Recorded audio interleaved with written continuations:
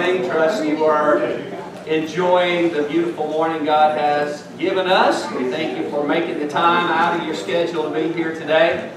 Certainly looking forward to our time together in worship and in the Word. So if you have your bulletin this morning, go ahead and grab it and let's get started with a few announcements today. First of all, there's a little bit of a typo on the top inside there on the date of the ladies' Bible study. That says February the 14th. We will, they will, they will meet again before the next February the 14th, I think. The ex, actually, the next scheduled date is February 28th. So if you want to scribble out the 14th and write in the 28th, and I'm sorry I failed to catch that and get that changed, but uh, that's the 28th and not the 14th. So. And then our meal of the month is next week, Sunday. It is our Valentine themed lunch, and we're looking forward to that. And I might also add that we have uh, in the freezer over there an extra pan of the chicken spaghetti that was left over from uh, uh, Miss Deborah's catering from our meal last Saturday, and it is really good. So we will have that along with it. And I think somebody else is bringing some chicken spaghetti as well, I think I heard. So we should have plenty in, in the lasagnas and spaghettis and pastas that you bring. So I'm looking forward to that. We should have lots of food to eat next Sunday. So you come and bring somebody else with you to enjoy that time with us. Amen? We're looking forward to that. Also, don't forget about the CTS Bake Lunch that will take place I know several of you ladies have already uh, talked to Miss Sharon about bringing some baked goods. Appreciate that. We need all that help that we can get. But also, we need you to come prepared to buy some of those baked goods, whether that's cookies, cupcakes, cakes, pies, or whatever it is. I'm not sure what all those baked goods will be, but I know they're always good. And I love getting in there and buying a few items, and uh, I know you do as well. So plan on that for next Sunday. We'll have a great time with that uh, during that meal time. Let me also remind you of the men's conference that is scheduled for March the 4th and 5th. That's Friday and Saturday. And uh, that will be at Lake Hills in Austin. Looking forward to that time and I hope that uh, some of you uh, that haven't already committed to going maybe will find the time and the desire to go. If you are still interested or become interested, there is time for you to join us. Just let me know and uh, so that I can make the necessary plans to ensure that uh, we are covered and, and all of that. Again, we will, those who go with me, we plan to leave here at 1 on Friday the 4th, and then we'll return right after lunch on the 5th. And so, anyway, looking forward to that time. And then the ladies, FWAC uh, Painted Churches tour will be on that same Saturday. And uh, it says see you for the details. What time y'all plan on leaving the church here Saturday? About 8.15. And I sent an email this morning to the ladies. So if you did not get an email from me, text me, call me, something if you're interested in going and make sure I have your email address.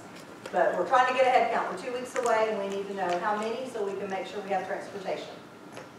We, we've had a few things brought to light lately uh, about not everybody being able to hear, and there was Kathy making an announcement, she had a microphone in her hand. and wasn't using it, so some could, I'm sure.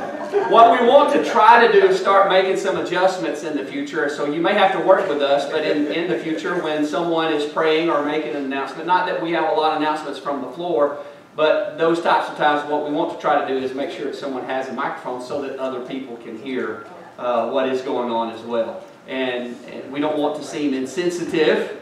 And plus, there are people that are viewing our services online that don't have a clue what's going on. If they happen to tune in at the moment when someone is praying or saying something and it's not being picked up in the mic, there's silence. And so we want to try to help uh, facilitate the, that uh, ability for folks to hear a little bit better. So y'all help me change my mindset on that. So I can grab a mic and get one in front of you real fast. Anyway, so our, our, we're not trying to scare you with the mic. We're just trying to make sure everybody can hear what's happening. So, but thank you, Miss Kathy, for that. And uh, so if you have questions about that, again, see her. And I know you ladies will enjoy that time together and that tour of the churches. Let me also remind you uh, young men about a new uh, class that is going to start on that first Wednesday night in March. And um, I don't remember the date. I'd have to look that up off the top of my head, but it's the first Wednesday night in March. It'll be the first Wednesday night in April, etc., etc. And uh, Dr. Doug Vance, who's not feeling well, not able to be here this morning, but he is going to be leading that study with the young men. It's going to be an outstanding time and opportunity for them to find uh, some great leadership and some challenges on being young leaders willing to stand up, just kind of like in our lesson this morning, stand up for the truth. Uh, some lessons on apologetics and that sort of thing. So it'll be happening the same time that our normal Wednesday night activities are happening, and this is going to be geared specifically for our young men. Not our little guys, but our teenage boys and young adult men, okay? And so uh, that's um, uh, probably a, a, huge gap that we have uh, missed on for a while, and so appreciate Doug being willing and desiring to do something like that, and I know it's going to be some great lessons and uh, so encourage any and all the young men that you may have contacts with to come and be a part of those uh, classes and opportunities. All right? Thank you so much again for joining us this morning. If you're willing and able, stand and let's go to the Lord in prayer today.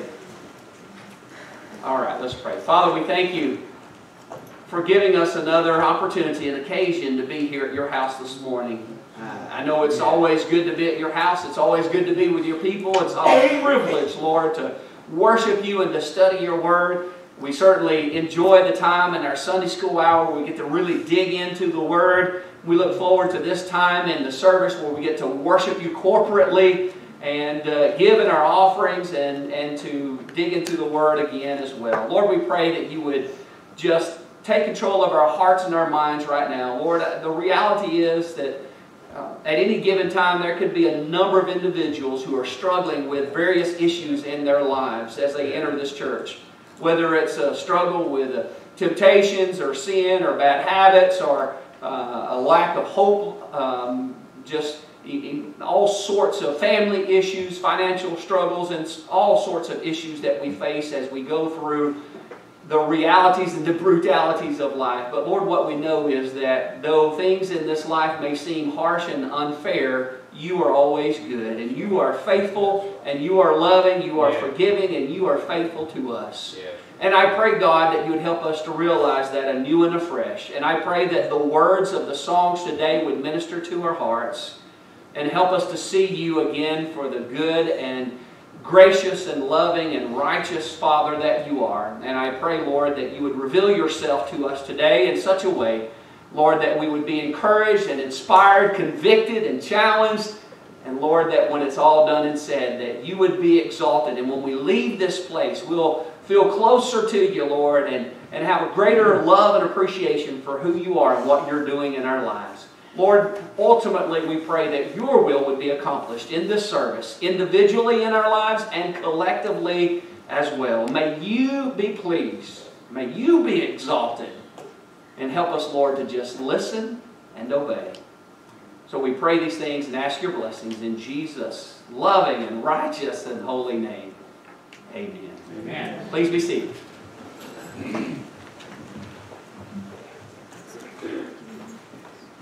Going to sing this morning about uh, joy and fulfillment that we get in serving the Lord. Kind of goes along with our Sunday school lesson, even though it wasn't really timed that way, but it, it can work out that way. We're going to start with number 530 in the hymnal. 530, Joy Unspeakable. We'll sing verses 1, 2, and 4.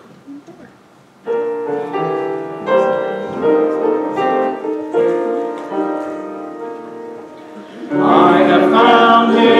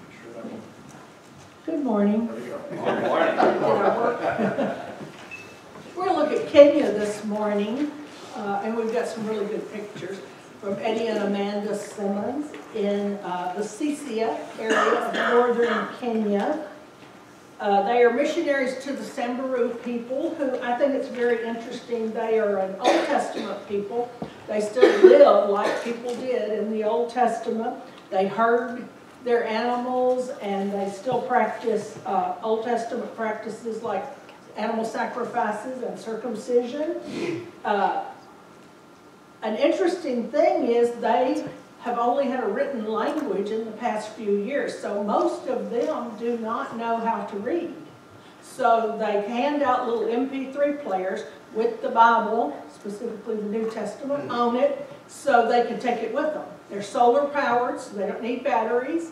And this is Eunice. She is one of their uh, co-workers who works with her, with them. Um, their language has only become a written language in the last few years. They are predominantly non-literate, but they can memorize tw- 10 to 15 verses of scripture after hearing it one time. Wow. Kiddos, don't you wish you could do that? We could just stand up and say scriptures every Sunday.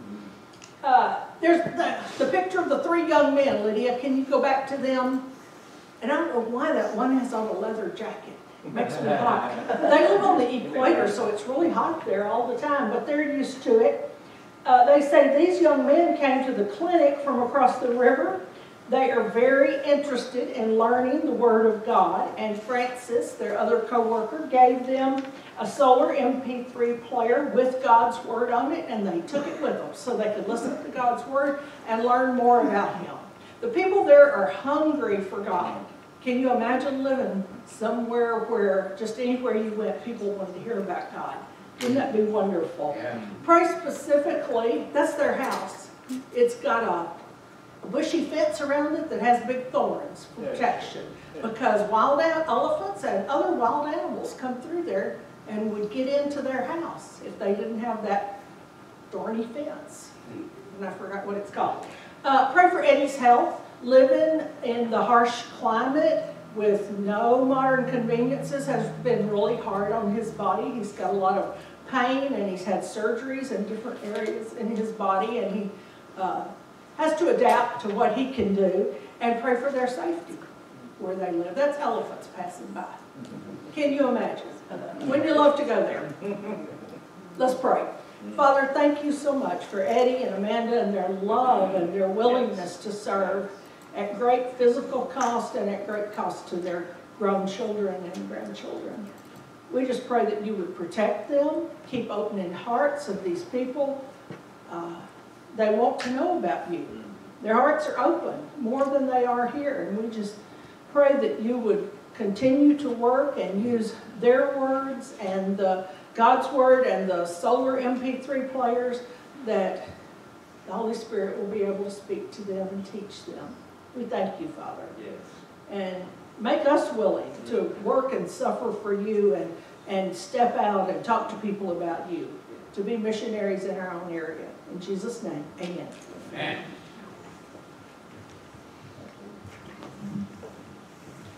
Ask you to stand, and while you're doing that, I figured out what happened. I called the songs out in the wrong order. You were following the order you had, it was not the order that I wrote down for myself. My fault, my fault. So, all of you were right. 524. Five, yeah, yeah, I just wanted to see if you were following our notes. 524, freely, freely. We'll sing both verses.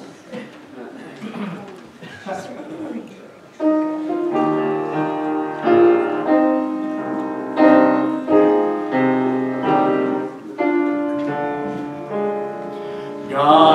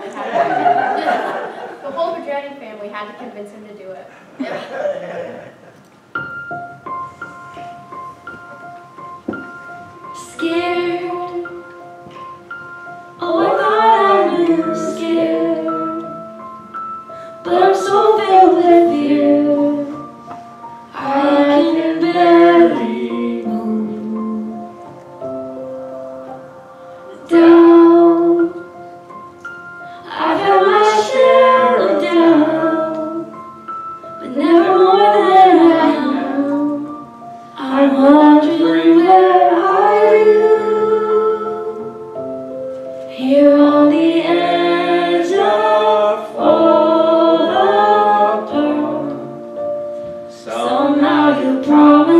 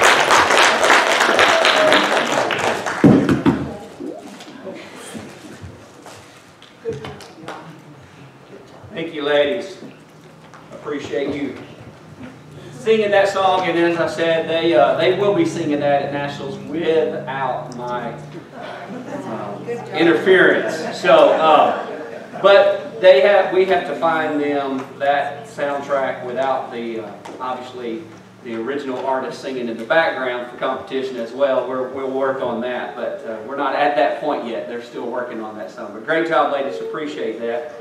Great message, amen? What a great reminder. And it certainly goes along well with uh, our Sunday school lesson uh, as well this morning. Uh, if you were in the Sunday school uh, hour and uh, studying about Elijah and Mount Carmel, one of those most powerful Bible lessons in the Word of God. But uh, it's time for us to transition to our message this morning. So turn, if you will, to 1 Timothy chapter 3. Good to see Mr. John Withers back with us this morning. We're glad to have him here. What uh, what, and, and of course, glad to have some others with us this morning, Sharon and, and uh, Tabby back there as well. You guys, appreciate y'all being here this morning. But uh, uh, it, I want you to understand it, it, it, takes a great effort for some to get here. We take our health for granted. Some of us just get up, put our clothes on, our shoes on, and head out the door. But uh, I know, uh, like for Miss Charlene, it, it takes quite a bit of effort for her and Mr. Charles to get here. Uh, not just the distance, but just the challenge that that creates physically to be here. And the same with John. Uh, and of course, appreciate Miss Tony helping him be here this morning. But uh, I appreciate their desire and their willingness to put that all that extra effort into being here at God's house this morning. And uh, that really uh, complements well our message today. We'll see how far we get into it. I've got to challenge you to be patient with me. Um, I, when I first started the preparation for this message, I was like, this is going to be one of those really good, simple, short, sweet messages. And you know how scary that gets when I start that way because it don't turn out that way. And so we have three verses that we're looking at today, and I have two points to share with you. But this will not be a one and done message, I can assure you. This will at least be two weeks. I think. We'll see how we get rolling. But anyway, um, so the title of our message, as you see, is Get to the Point. And you can tell by where I'm going already, I'm having a hard time getting to the point. But there is a great point to get to, and uh, that's what Paul is doing in our text, and we certainly have a lot of points that we want to get to in the message today. So read with me verse 14 through verse 16. Paul writing to Timothy yet again says, I write these things to you, hoping to come to you soon. So he's expressing his desire yet again to be with Timothy and to make that personal connection with him and be in person and a visit with him. But if I should be delayed, I have written so that you will know how people ought to conduct themselves in God's household, which is the church of the living God, the pillar and foundation of the truth. And most certainly, the mystery of godliness is great. He, is, or he was manifested in the flesh, vindicated in the spirit, seen by angels, preached among the nations, believed on in the world, and taken up in glory. Man, there's a lot of really great stuff in this passage of Scripture, and we want to shed some light on that and a few other things maybe as we go along as well. So in our text today, we see Paul's purpose for writing this letter that we call First Timothy. He addresses that here in these verses.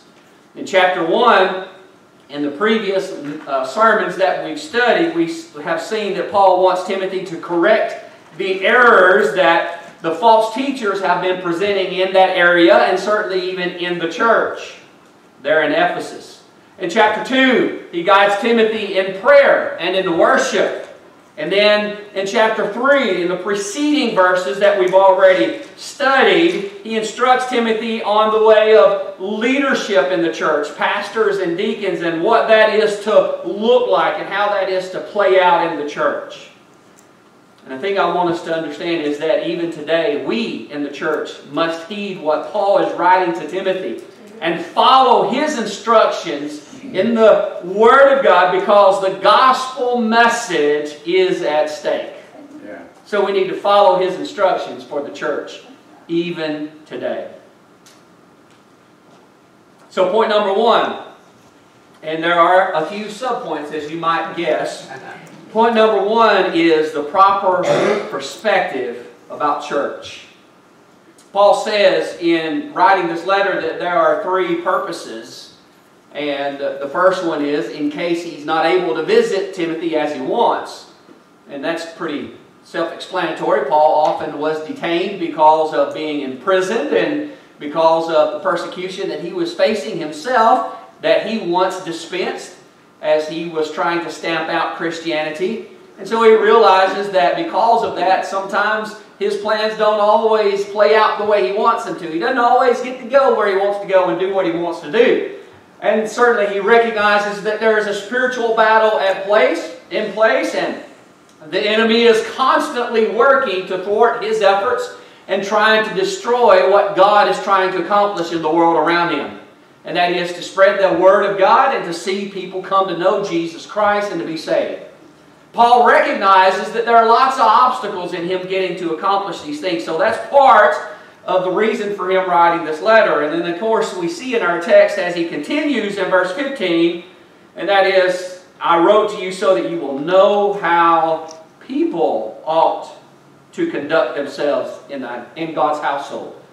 In other words, Paul didn't leave it to Timothy or to anyone else to just kind of guess at it and shoot at it and try to maybe figure out what we ought to do and how it ought to look like when we come together and do this thing we call church. I'm thankful for that. Especially in our world today. And I began to think about that in our world and what it really looks like in a lot of churches. And I, and I, and I thought about something I never had really considered. And, I, and some of this will play out in the message today, but there are, there's, a, there's an attractive thing, there's an appeal to a lot, especially young people today, in the contemporary church. And many of the contemporary churches don't have the normal name of a church, as we would call it, and they certainly don't have the normal look of a church. Meaning that many of their facilities, the facade, on the outside doesn't look anything like a church, and when they step inside, it doesn't look like anything like a church like we're used to. Of course, we have pews, a lot of churches have chairs, but a lot of churches today don't have this appeal, and they don't have a podium per se or a stage and necessarily the instruments like this. They may have instruments, maybe a band and that sort of thing, but it just doesn't look like what we consider the traditional church. And a lot of people, I think, are drawn to certain aspects of the new look today, more about the comfort level than the look. Because a lot of times people come in and they feel like they're just going to another event. Because that's the appeal and the presentation that they're striking, they're looking for in a lot of those churches. In other words, they want people to just kind of come as you are, be comfortable, and just relax and enjoy being here. Now, and I understand that there are certain aspects of that that maybe we try to appeal to as well, but there are some things I think in regards to that that we totally miss the mark of what God wants yeah. in regards for people coming to church today. Right. And I think we've gone way off from what I believe even the Word of God and what Paul intended for Timothy and certainly for us today. The word church in the Greek is ecclesia.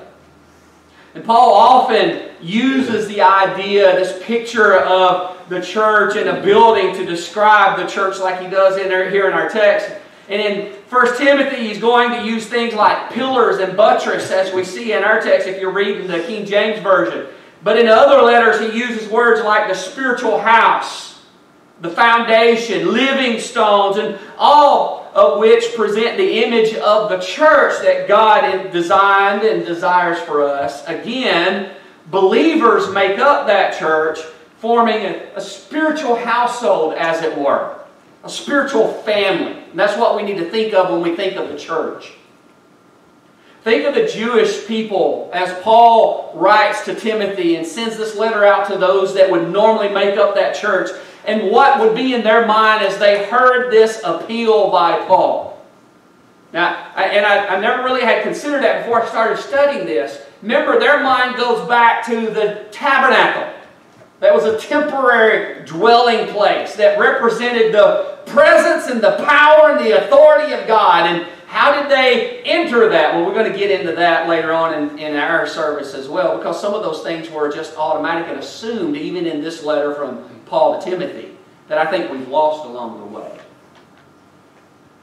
And then they would picture the transition from the tabernacle that they had heard, even though none of these people had seen, but then the temple, even that Solomon had built, and the glory and the beauty of that incredible building and structure that was built for them to come and to worship and to make sacrifices and to experience the presence of God yet again. So they had that picture in mind. But in the New Testament, wherever the local congregation of believers assembled, whether it's in a sanctuary or, or at a house and or out in the woods somewhere, out in the field somewhere, and in our day, it might be even in a parking lot or at a storefront building that's rented, sometimes even in a schoolroom, and even in the history of this church, going back to even at one point meeting in a courthouse. The location isn't as much the great concern as it is the fact that the people gather together and that they make up the church. Amen. But don't miss the point that there still is a certain behavior that is expected for the people as they gather at that church location, wherever that might be. So the church we see is where God dwells with His people. He loves the church. Don't miss that. God loves the church. And we are sure and we, we focus on and we, we give a lot of attention to the fact that God loves us individually, and He does. For God so loved the world that He gave His only begotten Son, that whosoever, that's the individual, you, believeth in Him should not perish but have everlasting life. But don't forget that it is the church that is called the bride of Christ. Remember in Ephesians chapter 5, there's the parallel between Jesus, the groom, and church, the bride, with the husband and the wife in the relationship today. And what we see is that God treats very preciously the church. And he values the church. He loves and adores the church. Now, not so much the structure, but the organization that he formed and the group of believers that make up the church. But we need to understand that because I think sometimes we miss the significance of that statement. So he loves the church, and when we become his people, part of the church, we are called into a relationship with one another. We're not on an island doing our own thing and living our own spiritual lives. We are called to corporately come together and worship Him and study His Word and accomplish His kingdom outside of this church because we come together. Someone who chooses not to participate with church, and I borrowed that phrase from Pete. We missed Pete the past few weeks. Hopefully soon they'll be done with all of their other obligations and be back with us. But one of his phrases that I love in the men's prayer meeting is he talked to people and he'd say, well, what church do you participate with? And I love that.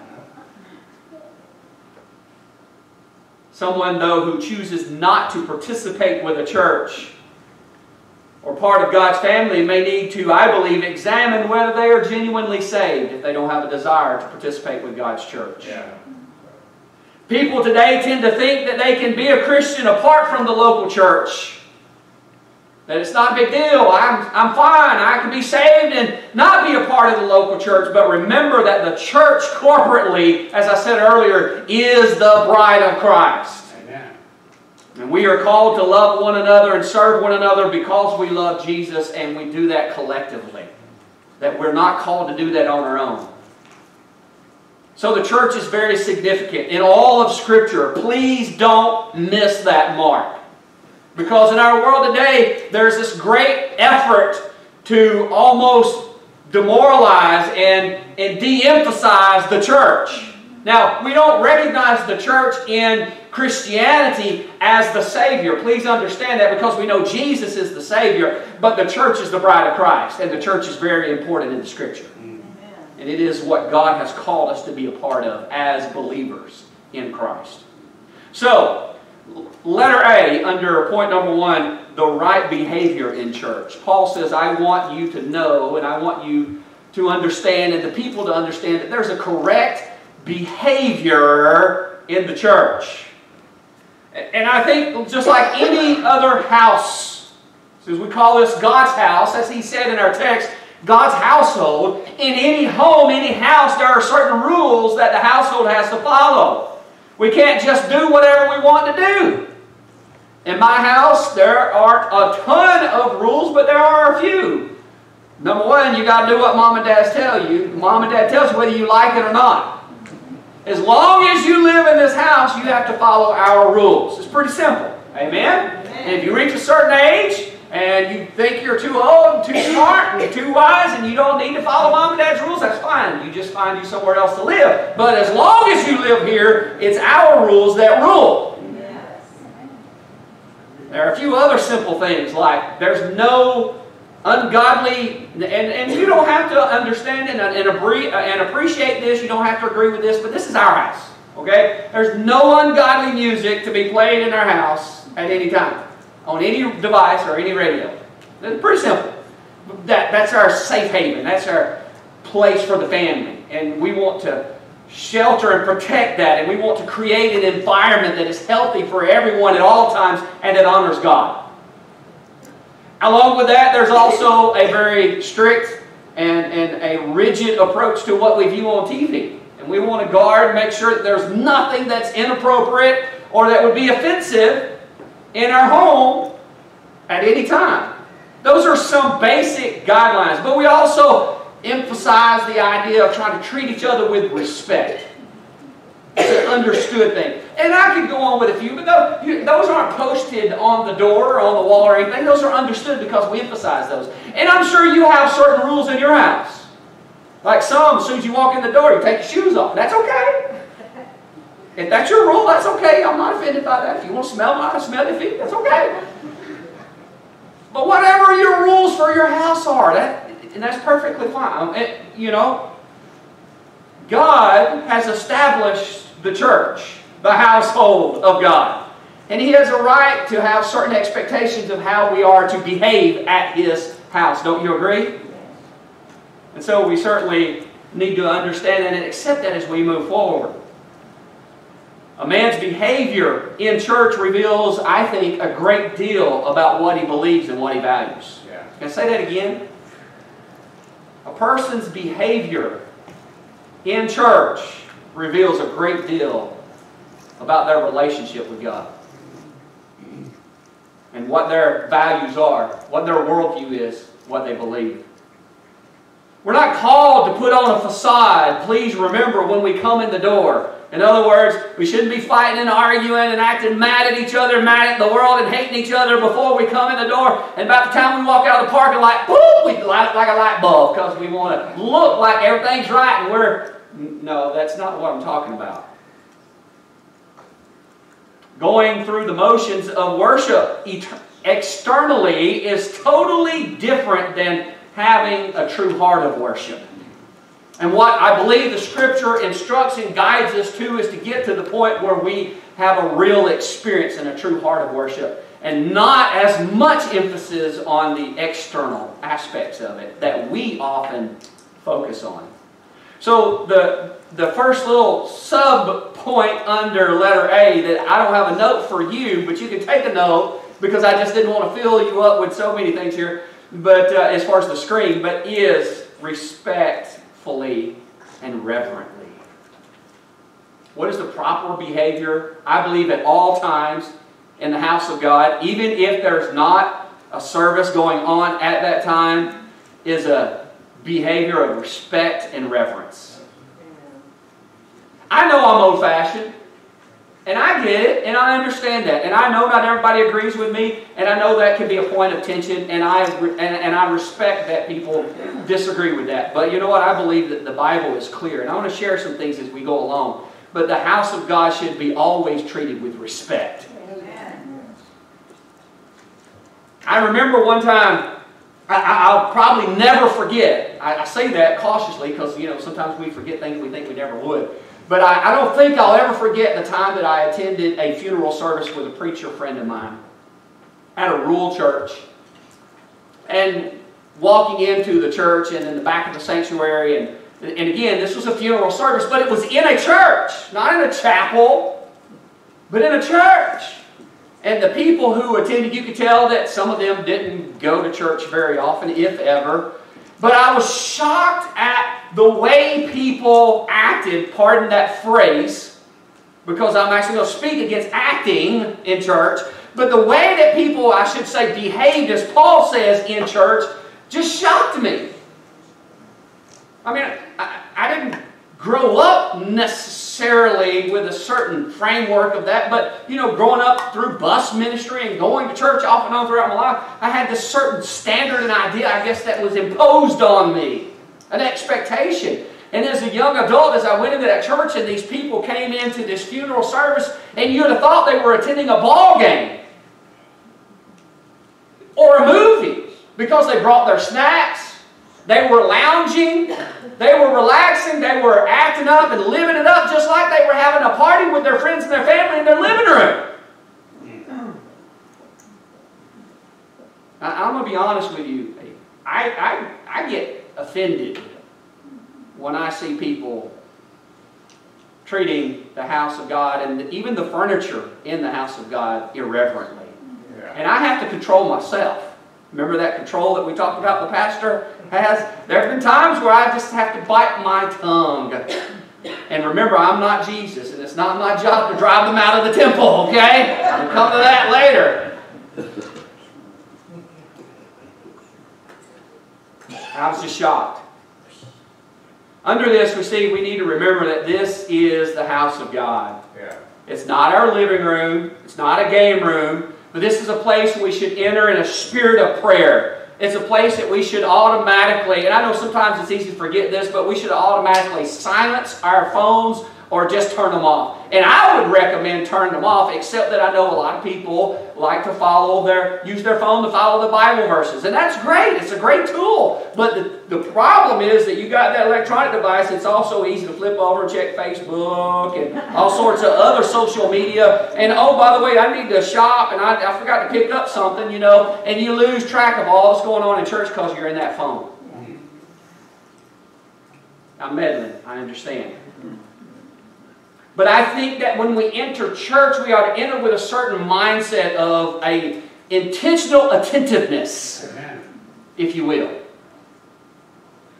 Now, I don't know about you, but when I, I'm, I'm going to get a little bit personal for a moment. Not that I never do that or anything, but I, I you, some of you know that I like to hunt, and I, I've, every once in a while I get lucky and I get a deer or a hog, and sometimes the hog doesn't end up in the creek and it ends up at home, or the deer, whichever the case may be, and I'm skinning it. And my girls often will come out and talk to me while I'm in the process of doing that or deboning the meat. And what I find is I, I really am not very attentive to them on purpose because number one, I don't want to slice my finger off, you know? And so I find that it really, at times, I, I, don't mind them being there and I don't mind them participating, but I don't want to have chit chat when I'm concentrating on trying to handle this, the processing of this animal. Because there's something at stake here, you know, there's flesh and blood, and it hurts when you poke your finger or your hand and you cut yourself. So I'm trying to be real attentive. I don't really like all those distractions. And I know sometimes I, that I'm sure they've gotten aggravated because they're trying to talk to me, and I'm like, I'm, I'm really trying to concentrate on this, okay? You, you understand where I'm going with that? I believe that that ought to be, in a sense, the way that we enter and approach the house of God. Yeah. We're not coming in here just to powwow and have a little uh, a talk by, you know, a TED talk or something like that. That's not what's going on. That's not entertainment. We're here to dig into the Word of God. We're here to worship the living God. Amen. And our attitude ought to be one of intentional attentiveness. We're going to church. And we don't want all this child's play and all this activity and all these other distractions. We want to focus on what thus saith the Word of God. And I know that that will irritate some, and I, I, I realize that, but I think that there's a certain reverence and respect that there ought to automatically be when we walk in those doors. And I got to admit that it's easy sometimes to take for granted that and get so comfortable because we're comfortable with who we are, we're comfortable with our people, we're comfortable with our worship, and so we let our guard down. We need to make sure that we're attentive in that way and that we are reverent and respectful when we come into church. And I believe that we need to teach our children that. I think it's our responsibility. We can no more expect our children to automatically have reverence and respect for the house of God then we can expect them to be selfless and truthful. Now, you tell me, how many of you taught your children to lie or to be hateful and mean and mine? Do you have to teach children that? No, it comes automatically. And so will teaching them to be reverent in the house of God. I love having children in the house of God. Believe me. And I love them loving being here. But I still believe that we got to teach them to be reverent here. And we can't just ignore, well, they're just kids. Well, I know they're kids enough, but they have to be taught that there's a certain behavior that's expected when we're here. Because we're not at home. We're not in the backyard. We're not at Granny and Gramps'. We're at church. This is the house of God. Now, I don't want to overemphasize this and make this some holy place that, that is so sacred that we, you know, that we that we don't get to relax and enjoy. I'm not, I'm not there, but I'm saying it is the house of God and we need to treat it with reverence and respect. Let me share a few verses with you that I think echo this truth. John chapter 2, verse 13 through 16. John 2, 13 through 16 says the Jewish Passover was near, and so Jesus went up to Jerusalem. In the temple, he found people selling oxen, sheep, and doves. And he also found a money changer sitting there. And after making a whip out of cords, he drove everyone out of the temple where with their sheep and oxen. And he also poured out the money changers' coins and overturned the tables. And he told those who were selling doves, Get these things out of here! Stop turning my Father's house into a marketplace. You know what Jesus was emphasizing? A right attitude of reverence and respect for the house of God. And you could even argue in that time and in that place there were many messages that weren't necessarily complementary to the whole Word of God, right? But it was still the house of God, and it was the place where the Word of God was being taught and where people came to meet with God. And so it was to be treated in a certain way. And I believe Jesus set a pretty good standard, don't you? That's a pretty high bar. I can tell you, I've never made a whip and I've never driven anybody out of church, but I have been tempted to pull my belt off a few times, and it wasn't always just kids. It's even been a few adults. But I, I, I digress. And so I'll go back to our verses. Habakkuk chapter 2, verse 20. Habakkuk chapter 2, verse 20 says, But the Lord is in his holy temple. Let the whole earth, listen to this, be silent in his presence. Now I know that we don't ask and expect you to come in here and be silent like a bunch of monks and not say anything but just listen and absorb it all. And, and the only ones who make noise, if you will, are the ones on the stage. I'm not talking about that. But you get the sense again that there is this great impression of reverence. Amen? Because we understand that this is the house of God. It's the temple. It's not a place for us to just come and hang out and party. I, I appreciate, I was, I was told the other day, and I, I hope I don't get in trouble for sharing this, but Miss Donna uh, doesn't like to even eat in the overflow area when the ladies have their Bible study. She's fine meeting in the library because she feels like this is part of the sanctuary. And it truly is an overflow of the sanctuary. And I, I appreciate that respect. Amen?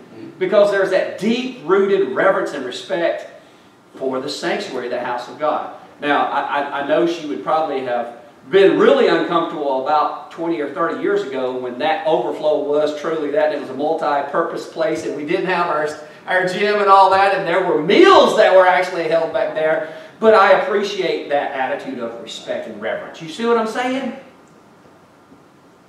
And we lose that if we as adults don't emphasize that.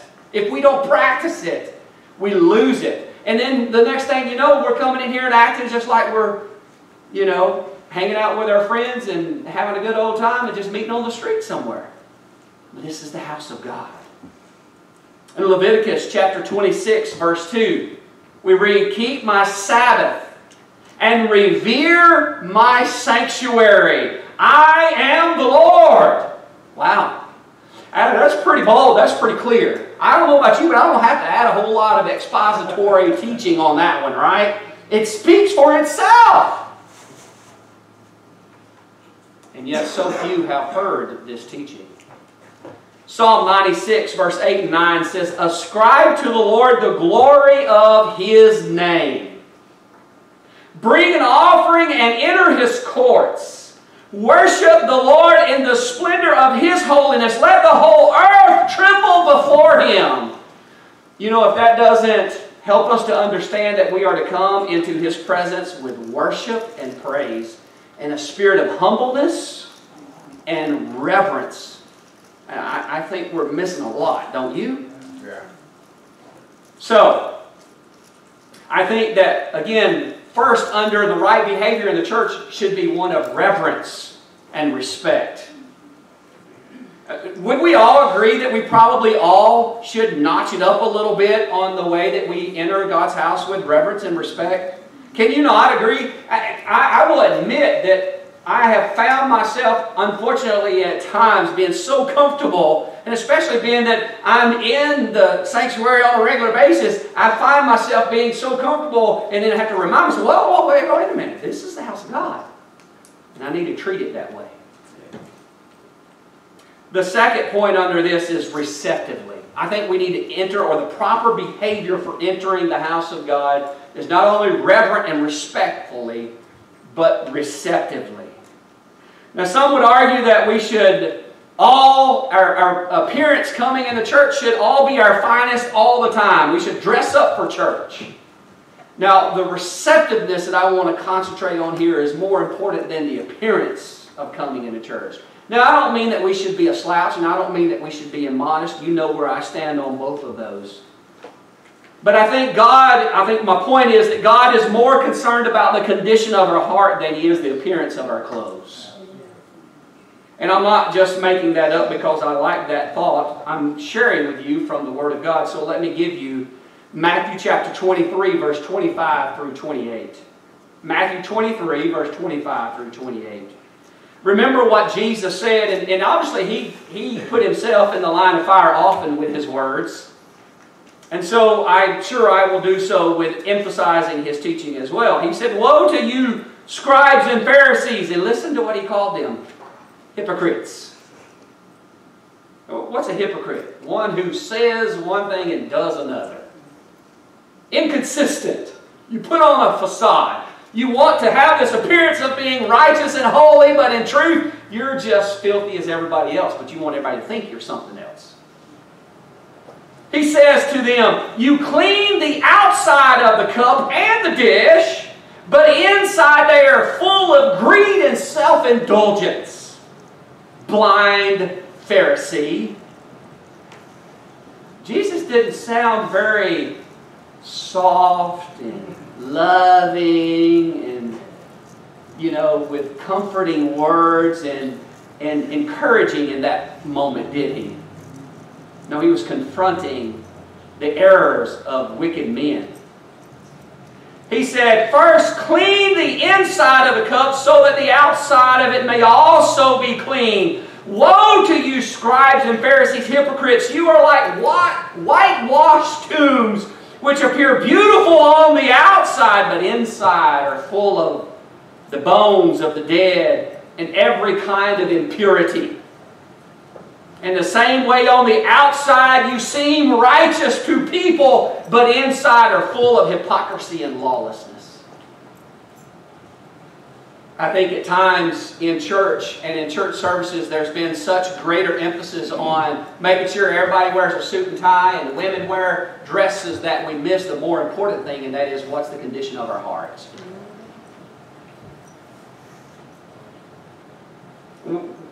There's a lot that I could say about that. I don't want to overemphasize that, but I think what is important here is that we need to come to church with a receptive heart in the sense that we are preparing on the inside for what God has for us more than on the outside. Now, and I'm going to get in trouble for this, but I'm, and please bear with me. But I know that for some people, no offense women, but especially some women, it takes an awfully long time to get, not all women, but some women, an awfully long time for them to get ready to go to church. And that's okay, except that I'm afraid that some of us spend more time getting ready on the outside with no intentional effort getting ready on the inside. If we would spend a fraction of the time preparing our hearts to be receptive to what God has for us when we enter those doors, that we do dressing ourselves and fixing our hair and putting on, as my dad would say, the war paint. I said it, I'm done. Then I believe God would do something spectacular in our lives. Amen.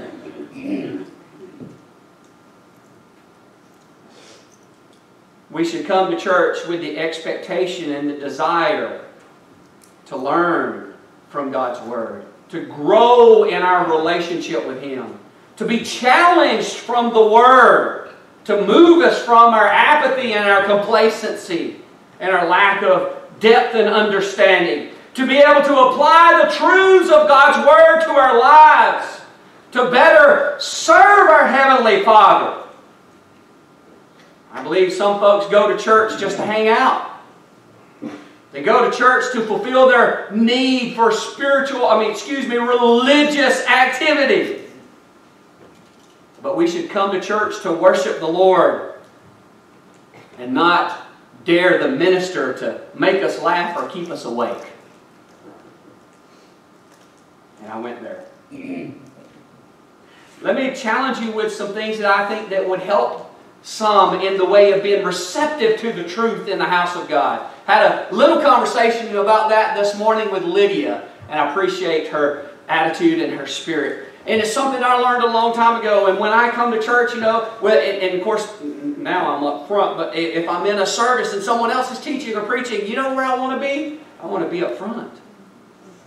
Why? Is it because I want somebody to see the back of my head? No! I don't want to see the back of somebody else's head. And I don't want to see them talking passing notes and blah, blah, blah, and, and all the interactions and distractions that might hinder me from catching a nugget of truth that God has for me. I want to remove any and every obstacle that I could. If I could, I'd sit right up on the stage, right at the feet of the teacher. Because I don't want to miss the truth that God has for me. Now, I'm not asking y'all to come up here on the stage.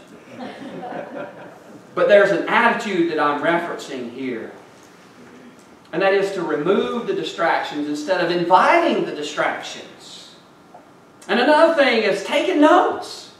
I have found, I don't care who's speaking, that if I just sit and listen, I can enjoy what they're saying, but my mind, and, and you're probably not nowhere near, pardon the broken English, as simple as my mind is, but I find that if I'm just sitting there listening, no matter how electrifying that presentation may be, that my mind has a tendency to wander. You know, like the dog squirrel, you know? That's where I'm at.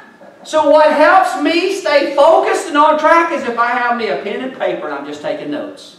I love Kathy Halbrook. And I'm, she's not the only one I know, but she publishes hers on Facebook. And she posts the notes. She takes better notes than I do sometimes. Oh, And it's great. But it gives others the opportunity to see those notes. And it helps to stay focused and engaged when you're taking those notes. And then later on, you can look back over those notes. Whereas sometimes you're trying to remember, now, what was that point? What was that word he said? Well, if you got notes, you got it right there.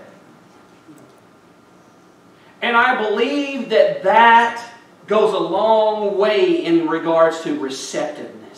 I believe that a person who comes and sits without distractions and doesn't want any, you know, I've had times where I've been focused on something and I've had my kids even trying to get my attention. I'm like, nope, nope, leave me alone. I'm concentrating on this. I'll deal with you later. I want to focus on this. Don't interrupt. You know what I'm saying? And then you got your notes and you're taking notes. I believe that expresses a genuine receptiveness, and I believe that God will bless that and you will grow.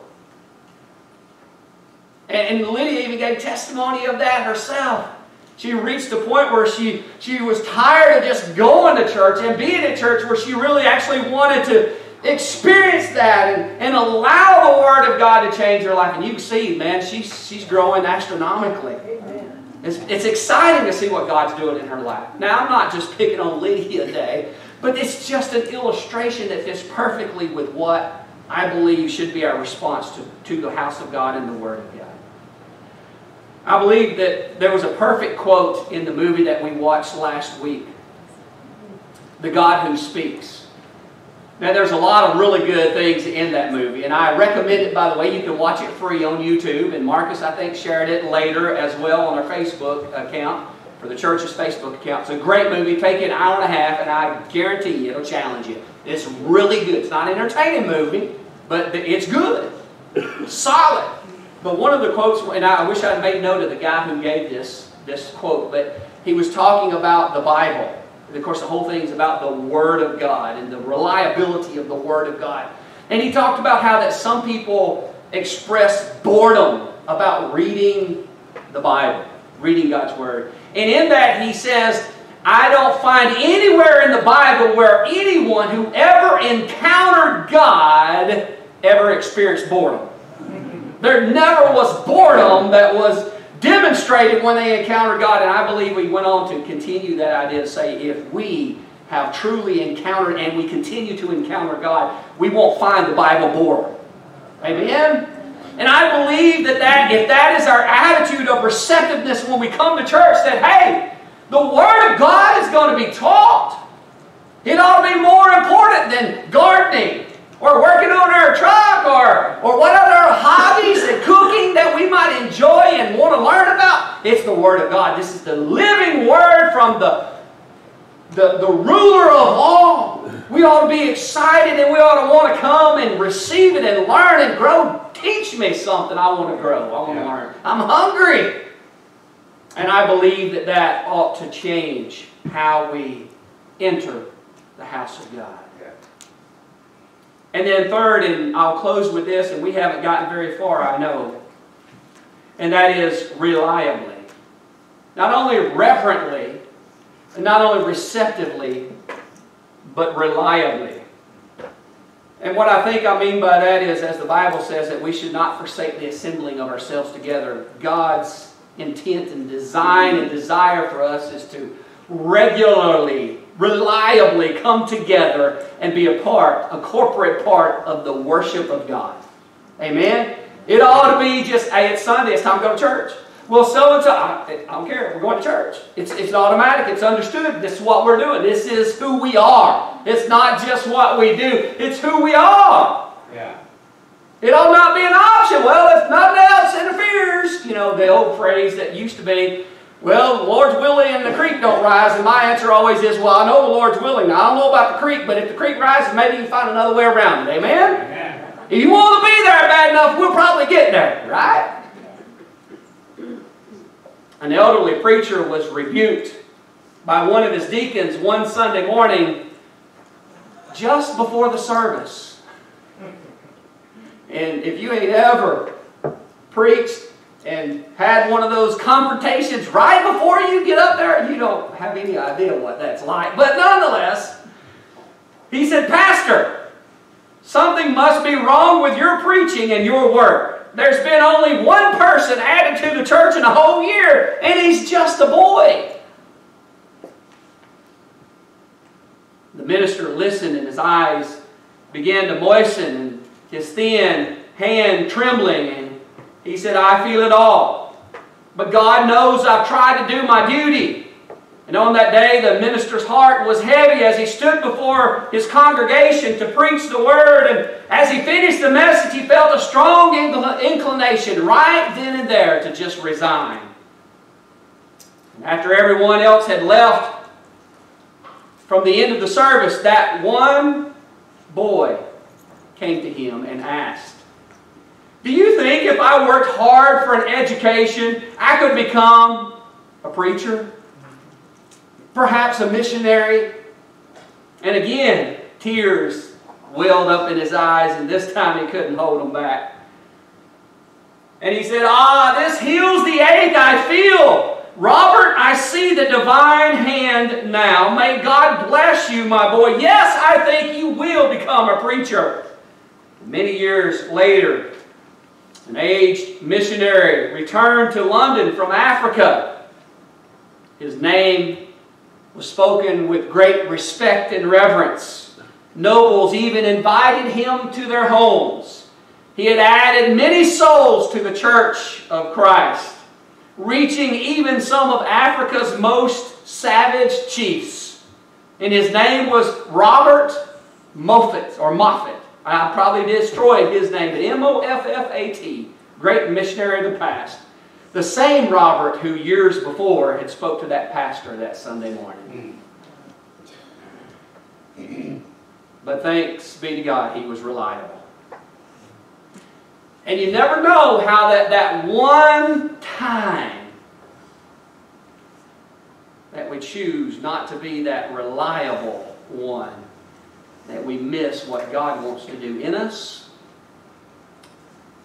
or what God might want to do through us. Amen. I believe that there is a great expectation of a certain behavior for every person who enters the house of God. And at minimal, it should be reverent, it should be receptive, and it should be reliable. May God speak to our hearts about our attitudes and our behavior, not our acting, but our behavior at the house of God. Let's pray. Father, thank you today for your living word. And thank you, Lord, how that your truth works in our hearts and lives. And sometimes it's excessively uncomfortable and terribly inconvenient. But God, your purpose and plan is not to make us look good or feel good. Your purpose and plan in your word is to make us holy and righteous and to bring us in line with you. Help us to realize that and help us to understand that, that those feelings that arise because what is said goes against the grain and irritates us, so to speak, is not because the preacher is picking, but because you, O oh God, are moving. And you're trying to alter our thinking and our living and our being. And I pray, God, that in these closing moments of this service, you would continue that work in our lives.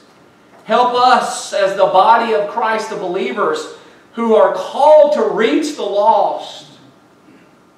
Examine our approach, our mentality, our perception about coming into the house of God. And God, may your Holy Spirit do the work that only you can do in our lives. We pray now. In Jesus' name. Would you stand, please, with your heads bowed? Marcus is going to come and lead us in a song of invitation.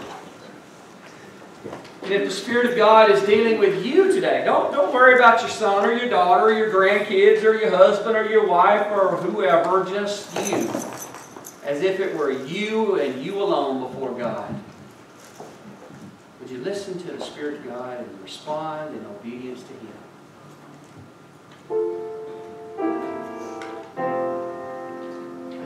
My life, my love, I give to Lamb of God who died for me. Oh, may I ever faithful be, my Savior and my God. I'll live for him who died